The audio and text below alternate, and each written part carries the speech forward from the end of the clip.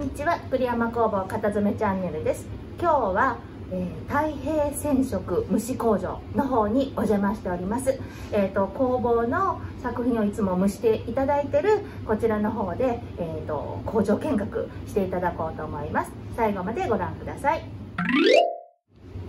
はい。今日はえー、太平さんにお邪魔してるんですけれどもゲストに柳川社長をお迎えしてます。あの声だけの出演ですけどもどうぞよろしくお願いします。どうも太平染色虫工場の柳川でございます。よろしくお願いします。お願いします、えー、はいいつも工房の虫をここでお願いして蒸していただいてるんですけれどもで撮影をお願いしたんですけれども別にうちのだけを蒸しておられる工場ではありませんのでよそさんの本当に素晴らしい作品がいっぱいこの中であの行き交ってます。であのデザインがいろんなものがあの作業されてますのでそれを撮影するのはやっぱりいけないことですしもちろん、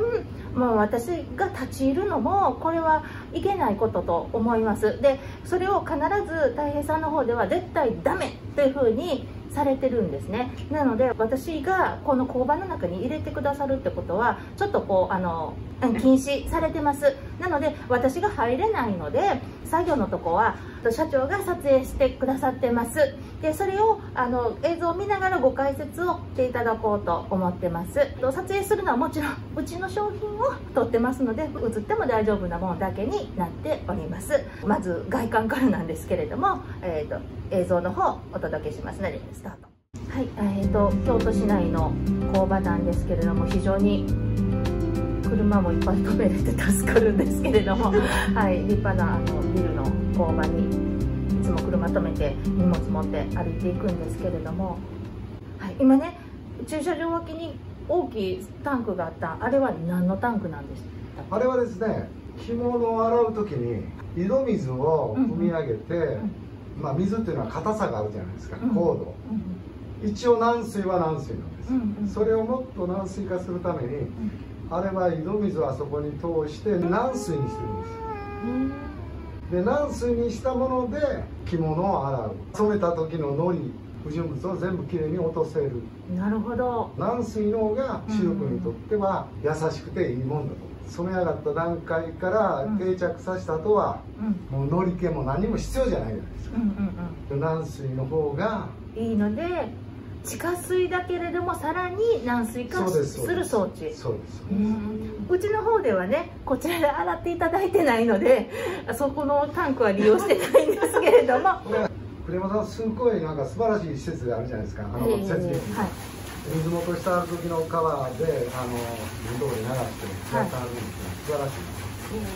あの見させてもらいました。まあねううちはうちのまあ混ざらへん方がええなと思う部分があるのでお願いせずにやっておりますけれどもでもなかなかあの設備持てる工場ってそんなあるわけじゃないので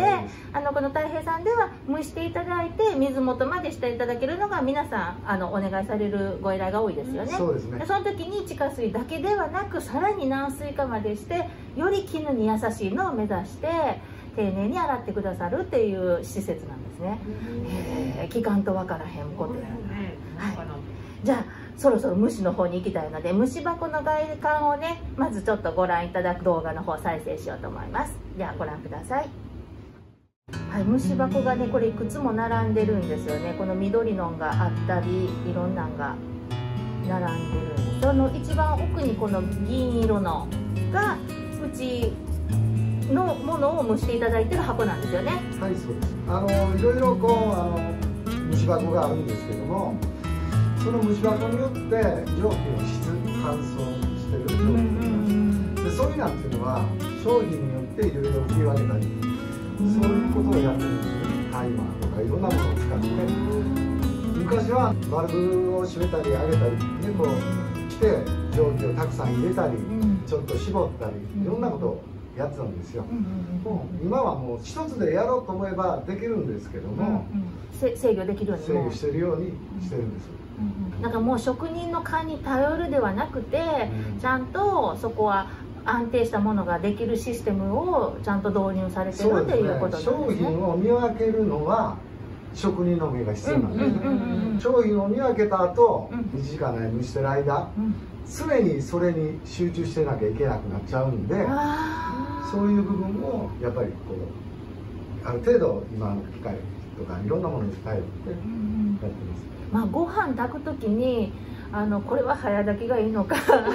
普通炊きがいいのかっていう機械選択するのは人間やけど、ね、じゃあ自身はいい性能ができてきたみたいなそんなのと似てますよねそうですまあ言うたらね。で反物がどんな感じでこの箱の中に入っていくのかっていうところをちょっと動画また撮影していただいたのでご覧くださいこのこれは木の枠なんですか？そうですね木の枠ですね。にあの汚れないようにまず布で巻いてでそれもまた汚れないように新聞でガードしてでで,、この新聞も毎回毎回ちゃんと交換されるんですよねね。虫のたびに。であのうちの反問が出てきましたけれどもこれを、えー、と両サイドに針がかかってるんですよね。そうですね。あの針が両サイドにありましてね。まあまあこれうっすら見えてますよね。でこれにかけていくって感じですよね、うんあの耳をうんうん。着物の反物の耳をかけて、えー、いくと。そして柄があるところにはこの今新聞を挟んでますけどもそういう形でそこに直接反物に触れないようにっていうような形で、えーかけてますね。でこれかける時でもはい、針が何本もありますけどもうん。飛ばさずにかけたりうん。順番にかけたりうん。間を1本2本開けてかけたりいろんなことをやっぱり職人がこの商品はもうちょっと開けた方がいいな。この商品は1本ずついけるな。まあその辺はもう職人のもう勘ですよねまあ、だから蒸気の入りがどの加減が一番ええかっていうののですね。でこれ最後のやつとかね上手に足して端っこまで届かへんのもたらんと下がることなく。そうそうそうそうはいで私何よりこの新聞がね2枚ずつピッとうまいこと取らはんのがあの手カサカサなってへんやとかってうまいこと2枚取らはるなって変に思うあの。それはすごいね。そうめっちゃうまい。そういうところはあんまり私は考えないけど見る人が見るとやっぱりそう思うそうなんですよ。私らもねここ持ってくる時いつも新聞挟んでるじゃないですか、はあれ1枚ずつ入れてんのがねうまいこと取れへん時あるんですよ。うん。であの場合によったら1人が巻いてて1人が新聞刺す時あるんですようち。2人でやる時あってその時に巻いていく人の手が早くて新聞が取れへんくて「ま、待って!」とかいう時があるのですごいその新聞をいかに素早く取るのにすごいあすごいとか思っちゃうんです。すいませんどうでもいいとか。毎日のことなんでね。まあそうですね。その感覚っていうのはあるんでしょうね。で、まあ、新聞の置き方にもあると思いますし。いやいやいやまあもう慣れたねこうしといたらスッと取れるっていうのがよい分かってはるんでしょうね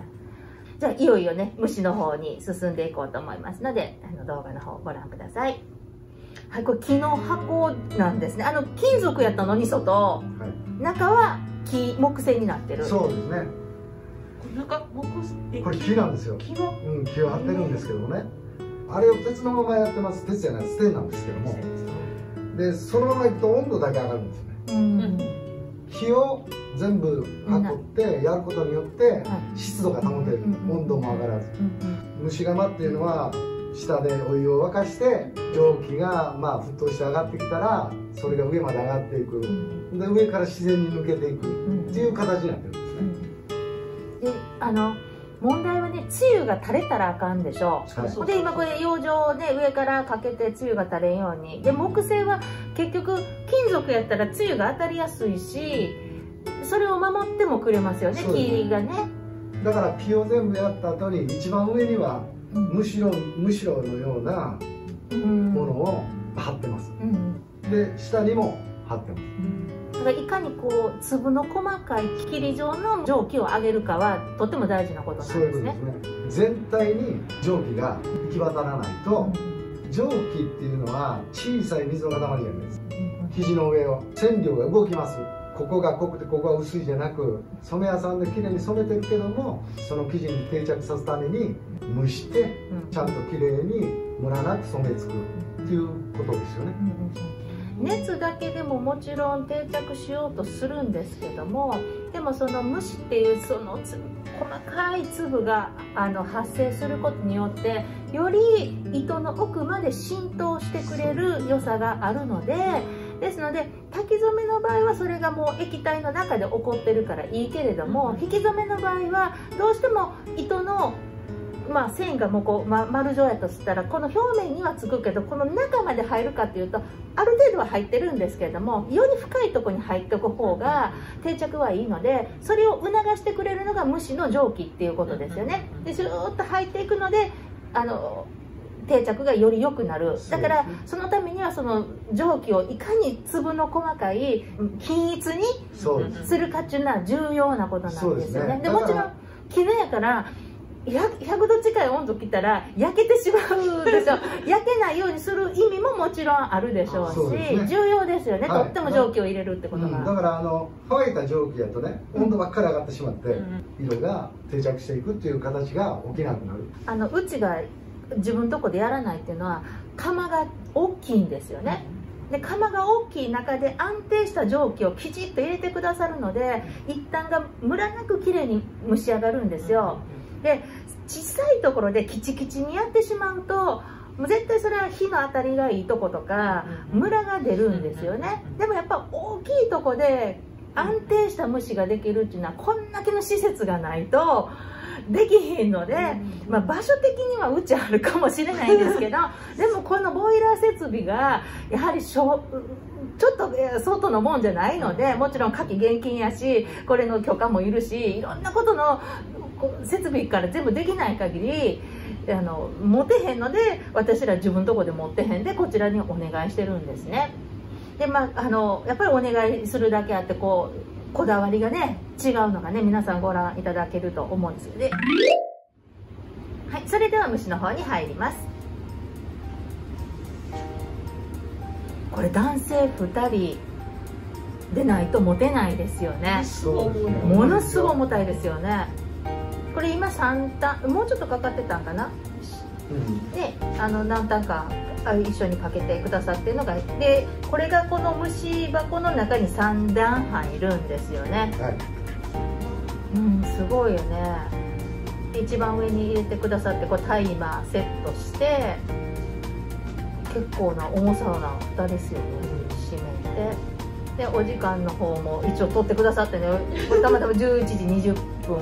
スタート。でまあで50度近くまで下がってたんですけどこれを97度ぐらいまでかな。持っていってくださるんですよね。そうですね。蒸し上がるのを待つ。あの釜がまあ1回出ました。はいで置いときます、冷めますよね中,、うんうん、中が冷めますよね、冷めます。仕事がたくさんある時は、どんどんどんどん入ってきますけども、仕事が少ないと、蒸気を入れず置いとくと、温度が下がってますよね、釜が冷えちゃうと、同じ条件でまた蒸せなくなってある程度温めとかないと、結露したりとか、梅雨が落ちたりとか、いろんなことが起きますんで、閉めて温度を保つような形で蒸気入れとくとか。そしたら朝体みたいな形朝一番まずとにかくボイラーのスイッチを入れて釜を温めるとこからスタートをここは。間違いない。そうですよね。同じだけ。でそれからしばらく待ってからしかできないですよね。そうですね。だからその間にタモンかけて準備をしててよしこんだけの温度上がってきたって見計らってやっと仕事をというかね。虫がスタートできるという感じです。カマンの管理、うん、一日仕事をやる中でどういうふうにしていくかを調整してやっていかないと、うん、そりゃそうですよね、うん、で私らみたいに「すみませんけどちょっと急いでほしい」とかねそんな 朝になってすぐできるやろうかねなんかわがままをみんな言ってくるでしょうしね。うちすぐ入れてくれって言わはるけど、はい、ちゃんと温めんと入らへんから。すいませんわがままいつも なんか聞いたらわがまま言いにくくなってきた。いや言ってもらったらいいですよ。できることはやりますんで、ね、ありがとうございます。今回これ50分ぐらい蒸していただいてたんですね。蓋を開けるところ。扉でそうやね。扉を開けますので。大体50分ぐらいになると978度ぐらいまで温度が上がってきて、うんうん、ますね、で、動画の方いきますね。じゃあスタートしますはい、もうシュシュシュシュ湯気が上がっててこれねちゃんとねまた社長が温度計も取ってくれたはったんですよ。97度なってるよってあどうか出てくるから。まず外観シュシュシュシュ出てるとこですね。やっぱとってはれますよ。ねこんだけの温度上げ上げてるんですよね。そうですね。この大きさをねこの温度保って蒸気保つって相当な水の量がね湧いてないといけないのでむちゃくちゃすごい火力ですよね。ね。はい。時間もねやっぱり11時20分に入れたんがもうすぐ。1時間近くっていう感じで蒸してくださってて。でちゃんとブザーのがね鳴るんで間違いなく。で扉するとわーってほかほかやねこの時は。そうですねで今入れる時も男の人2人で重そうでしたけどさらにこれ水蒸気も含んでるのでさらに重いですよね。めちゃめちゃ重いですよね。で今ねこれ扉にあの雫で水滴がついてるのでこれ垂れたら出入りの時危ないのできちっと拭いてポトッと落ちたらね。最悪ですよね。ですのでこれ今こういう形で下にパッと置きましたけども他の商品をすぐに入れなきゃいけないから今から入れる商品をもう先に上に入れちゃうんですよ。うそう。でまた出したとこも出したとこにかけるところが必要なんですいくつもあるわけじゃないんですよね。だからこうあああのはいがあっちこっち。今2段目に移動しといて外の枠かける場所を作っといて段取り考えてね一番の人素で挟んですか？いや手袋してるはずですよ。はい。や手前の人ね。一番の方。いそうやった。素手やった手前の方はあの手袋されてる。まあでもそこがキーやしまだでもでも暑いですよね。絶対する絶対するいやだから多分素手じゃないと思素手じゃないか。はい、でこれでねほっかほかなんですよ。でしかも水蒸気も含んでるのであのちょっと冷めるまで待ってで外されるんですよね。うそうそう冷ましてからね。そうですよね。だからねでも急いでる時はねなんとなく生温かい時もあるんですよね。ある程度冷ま冷まさないと要するにまあ乗り物やったりとかうん。した場合に、えー、とやっぱりのりのりも柔らかくなってますよね。そう。でそれをまあそのまま畳んでポンと置いたらべちゃってなるじゃないですか。そうそうそうだからある程度乾かしてそうならないようにおろす。そうですよね。だから生温かい時はね新聞と海苔がちょっとひっついてね剥がしにくくなって、す。ねなっちゃうんですよ。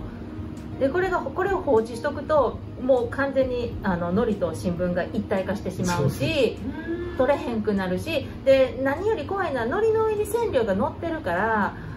やっぱりなんかこう汚し合いが始まるとものすごく怖いのでからできるだけちゃんと乾かしてからあの持ってくる方がいいんです。一番いいです。一番いいね。そうでなきゃダメうん。なので一応まああの撮影としてはここまで なんですけれどもあの中の様子ねこれ本当に入れへんところなんであのご覧いただくことはまずない。私ねこんなちっちゃいもんの時は自分で家の蒸し器で蒸そうとするんですけど1時間近く沸き立つ蒸しを揚げるのってめっちゃ家でも大変なんですよ。絶対ねお湯なくなってくるんですよ。そなくなるぐらい上げなあかんのですよ蒸気をでこれ節約するとダメやしでで虫が効かへんのですよ。定着せえへんしでそれを1時間近くこう見てでつゆ打たれへん。あまあ大体私は新聞でこうバーッと囲ってしまうんですけど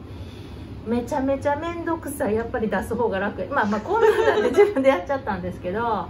いかにあの専門のあの虫箱で蒸すってことは大事なことかなってつくづく。あのなかなか均等に蒸せない筒でねこう巻いていって新聞入れといてくるくるくるっとしといてありますよね。蒸気の通りがねうん。どこまでほんならええんや。うん。まず先ほど見ていただいたかけれてる時のあんだけの隙間の中をザーッと下から上に蒸気が通っていくのとまあその辺は全然違いますよね。そりゃそうですよね。うんです外は怖いしね。うん。梅雨来ても嫌やし熱当たりすぎて焦げんのも嫌やしでも間がないと蒸気は通り抜けてくれへんしっていうところありますもんね。ね。あの今回はあのうちのが薄地やったので一度蒸しやったんで、あの50分ちょっとぐらいで蒸しが終わったんですけれどもこれがジーロが濃い時は2度蒸しっていうのをお願いしててその時50分蒸しました出してきました今度上下変え逆さに変えるんですって。こうターモンがこうかかってたのをこう向けにもう一回枠かけ直しをしてかけてでまた蒸しに入れてくださって2回蒸すことでより濃いジーロも定着をきちっと安定させてさせていただいてるんで、まあ、振り袖になるとまた今度湿り蒸しとかやってどんどんねやっぱり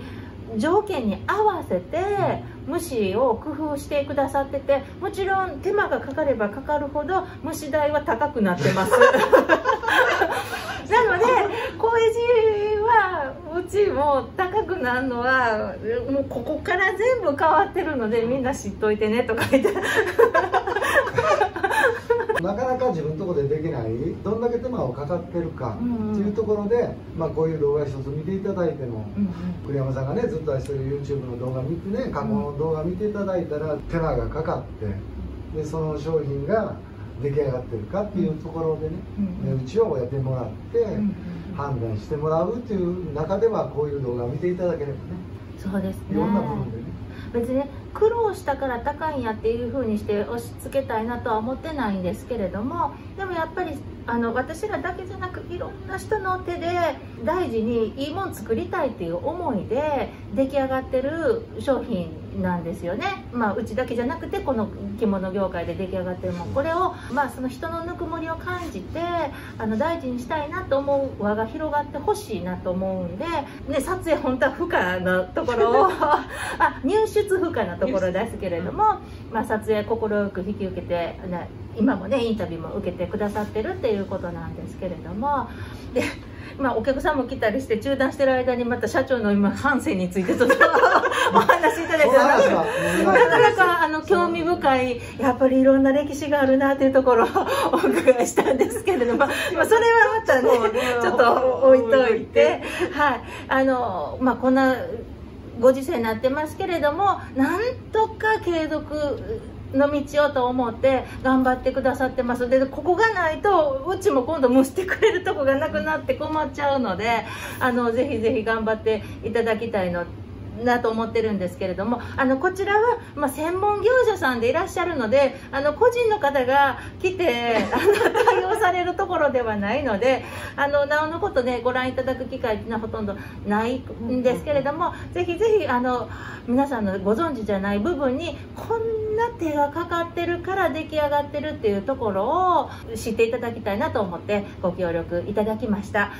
ご覧いただいた方こんなんやでって宣伝もしていただくと嬉しいなと思います。あの別にここに取引してほしいっていうんじゃなくて見ていただいて知っていくっていう輪を広げていただけると嬉しいなと思います。あの今日はどうもあの柳川社長ありがとうございました。太平さんでの蒸しの工程をご覧いただきましたけれどもいかがでしたでしょうか？なかなかね私も入らせてもらえたことがないのですごくあああんなして蒸してくださってたんだっていう新鮮な気持ちやったんですけれども快くお手伝いをね 引き受けてくださって。もう出てくださったらいいのに あんだけ上手におしゃべりされるのにいやいやいやっておっしゃってねシャイなんですね。うんシャイな方ですう 素敵なねそう、ねダンディーなんですよ。ダンディーだね、うん。スラッとしたねあの実は男前さんなんです。うん、かかっこいい方なんですよ、はいあの皆さんあの業者さんは知ってると思いますけれどもご協力いただきましてありがとうございました。ありがとうございました。はいまたあの誰が私をこう手伝ってっていうのかわからないですけれども声かかった人ぜひぜひあの協力していただけるとありがたいです。よろしくお願いします。ちょっと前までね目指せ1000人って言ってたんですけど1000人達成しました。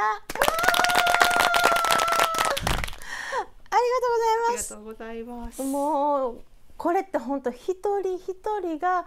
ねチャンネル登録っていうのをポチってやってくださらない限りできないことなのでこれ私が何の努力を重ねようと 皆さんがポチをしない限りはできないことなので本当にありがとうございます。で、えー、とちょっと出かけてたのでまだあの広告ついてないんですけどそのうち広告つくと思いますけど皆さんあの気持ちよく広告もちょっと見ていただけるとありがたいです。よろしくお願いします。来週にできたら1000人突破記念をライブでやりたいなと思ったり、ライブで？そういよいよ。いよいよ。いよいよライブをやってみたいなと思ってますので、内容いかんによってはあの保存しひんかもしれんしどうなるかって感じ今までは編集のおかげで具合の悪いの切れましたけれども、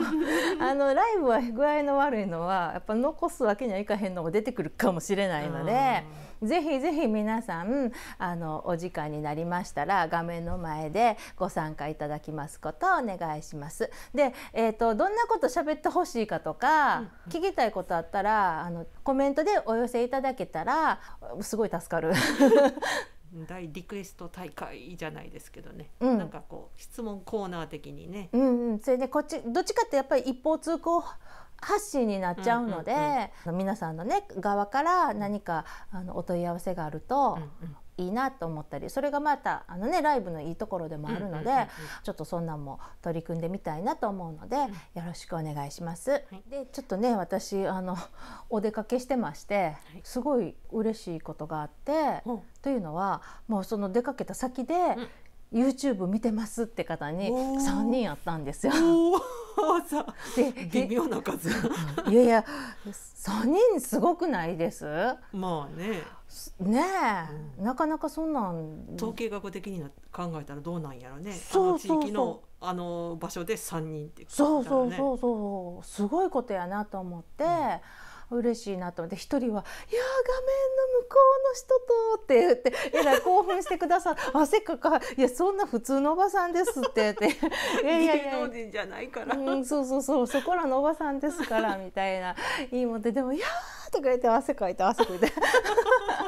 そそんな方がいらした、ね、すごい可愛らしい方がねあのいやいやあの普通に接してお話しさせていただいたんですけれども、うん、まああの一応ちょっとね呉服店さんの催事のお手伝いさせていただきに行ったんですけれども。うんうんあのまあ、ちょっとご縁があったんで、行かしていただいたんですけれども、うん、今まではねもう私はもう工房で作るっていうことに徹してたので、うん、出かけたくない出かけませんっていうスタンスでいたんですけれども、うん、まあ手も余るというか暇になるというか YouTube やるぐらいっていう状態にも工房もなるので。何か新しい取り組みをっていう中で、まあ、一つ大事にしたいなと思うのは、やっぱりあのお客様に求められるものづくりをしてたいという中で、あのここの中にこもってたらやっぱりわからないこともあるので、まあ、それをあのね、ヒントを得るためには出るいろんなお話させていただくっていうのは、うん、とっても大事なことかなと思って、うん、あの生かしていただいたんですけれども、でもあの生かしていただいた以上はやっぱり私のもちろんあの、ね、働いてる労力もあるし、うん、交通費もあるし、うん、あのご飯食べさせていただいたりっていうのもあるので、うんうん、あの私もやっぱり売ってこないと、うんうん、あのここの工房が成り立たないっていうことにはなるので、もしお手に取って欲しいと思ってくださるのであれば、おすすめして買っていただきたいなと思います。うんうん、はい。で、ただ無理にもう逃げてはるのに靴履いて走っていこうとしてある人を いつかまえて買いなさいっていうことはもちろんしませんし、うんうん、あのそんな無無茶なことはあのもちろんしませんけれども。うんでもできたらいや欲しいんやけどって悩んだはんやったら買いましょうって。やっぱりあの言いたいのは本音です。うん、うん、あのそれをそしてあの売れることでまた私たちは新しいものづくりができますので。そうですよね、はい、なんぼなんか心の中でいろんなこと言っても、うんうん、やっぱりあの売れていかへんかったら、やっぱり店は私らも閉めないといけないです。あの売れてしか食べていくことはできませんので、でもあのなんていうのかな。ちゃんと現物を売ってしかも心を込めてきちっと作ったものを丁寧に、あの売っていくっていうことにおいて私は別に恥ずかしいことではないし、うんうん、あの皆さんに自信持っておすすめしてもう喜んでいただけるものやと思って作ってます。うん、のであのもしどこかでまたお会いした場合はあの勧められると思ってください。はい、もうそれはやっぱりその人に一番似合う何か私は見つけて進めたい、うんうん、であの喜んでもらいたい、うん、うん。うん、それはもう間違いないんで、うん、気持ちとしては、あのそれがもしうちのが嫌いやったら もうそれやったらもううわやるわと思って逃げてください。もうそれはそこまで私あの走って追っかけはしませんので。そこまで別にしないので「かわいい」とかそれはないので。恐ろしい、はい、そんなことはしませんので。でもあの本当に気になる方はぜひねあのおすすめしていきたいなと。でその中でもう一つね、私が出てる間にあの工房の方に「栗山さんの素敵なんですけどどこで見れますか?」っていうお問い合わせがね、あのありがたいことにちょこちょこいただく中でまあ出てる間にもあったんですね。うんうん、であの何とも言えへん「さあ」っていう答えに。申し訳ない。申し訳ない。というのは、うん、やっぱり私たちこう一つ一つ手仕事で染めてますので決して安い値段ではないんですよね。もともと1個ずつに対して大量生産じゃないので、うん、そしたらそれをたくさん仕入れる呉服店さんっていうのもなかなかやっぱ大変なことなんですよね。でもちろんうちのも素敵やし大量に買いました。こちらさんのも素敵で大量に買いましたっていうふうにできる呉服店さんってやっぱそんなにたくさんはねないと思うんですよね。難しいと思うんですよね。でもあの気に入って好きやからって言ってうちのちょっと12本あの仕入れましょうっていうことはね、うん、してくださるところはいくつもあると思うんです。でもうちのたくさん見れるっていう呉服店さんはやっぱりなかなか難しい。のでだからここへ行ったらたくさんありますよ。ここへ行ったらたくさんありますよっていうのはやっぱりね実はやっぱり現状難しいです、うん、じゃあうちの商品がどこにあるかって言ったらそれをうまくあっちでも見られるこっちでも見られるっていうことを上手に段取りしてくださる問屋さんにはあります。であのそれを利用して小売店さんはやっぱり問屋さんちょっとあの今月栗山さんの見たいいう人いるからあの展示会したいなと思うには栗山店やりたいから商品持ってきてもらえへんやろうかっていうことをされて、じゃ来月はあのね、どこどこどこさんのっていうのをいろいろね変わってやっていかれることで、皆さんに新鮮にいいものを見せていきたいっていうふうにお店側は取り組んでおられますし、それに応えられるように問屋さんっていうのが商品を揃えてくださってます。はいであのですのでねなかなかここ行ったらありますここ行ったらありますっていうのがちょっと言えないとこが難しい中で、ですので皆さんが見たんやけどっていうふうに小売店さんにリクエストしていただくと小売店さんが「あ栗山店やらないと」って なるのでそうなると私らは助かるっていうことなんです。うん、そうなんですよね、うん、でたまたまね私がご縁ある小売店さんがあったりする時もでも多分ねそんなにたくさんはやっぱりお持ちではないんですよ。うんうんうちだけじゃなくてねいろんなねあのたくさんの商品を揃えてはるからね。そうそれがあるのでやっぱりね難しいでしょ。それは、持てたらいいですよ小売店さんかって。でもそこはやっぱりね難しい部分が、あの。うちのだけねその協賛っていうわけにはねそうバナナとかね、ね、バナナとかきゅうりみたいにね仕入れた分が全部こう毎日なくなっていくようなもんやったらね。いいんですけど、うん、なかなか呉服が全部仕入れたもんが毎日どんどんなくなっていくなんてことはやっぱちょっと難しい商品なのであのその辺の事情もあってでもそうしてえっ、ー、と取り寄せます。で売れたり売れなかったりっていうのが行ったり来たりやっぱり商品どうしてもなります。で時間が販売されるまでに時間がかかったりすることもあります。で、まあ、そういう部分も含んで商品に値段がつけられているので、ね、生鮮食品みたいにすぐ回転するもんだったら本当に原価にちょっと上乗せだけで済む値段つけるっていうことができると思うんですけれども目に見えへん部分にお金がやっぱりかかってくるのは事実なので。普通の商品とはまた違う部分もあるのかなとは思いますけれども、あのまあ、私が行くところはできるだけそんなにこうガバッてうわってっていうのじゃないところに行きたいな。それはどういうリアクションなんですかどう解釈したらいいやろ。うわガバって何？えっと想像にお任せします私の口からはよう言わない。はい。お投げられた。はい、はい。まあまああのね喜んでいただける。じゃあお買い求めいただいたものが長く良かったと思えるものであってほしいなとずっと願ってますそれは。はいはい、と今週はねなんかまた雑談が長くなってき